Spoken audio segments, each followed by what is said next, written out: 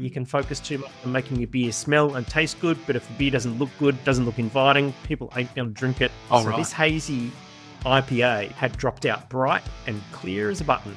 Oh no. How do, you, how do you think consumers would have reacted to that? Well, it'd be like pouring out a Pilsner and it bang hazy, right? It's not what you expect. You've paid for a hazy IPA, and the IPA is not hazy, and all of a sudden you're not delivering even before that drinker has put that beer to their nose or their lips. I love or hate social media. You, you have to brew a beer that looks good, and haze is a big part of that.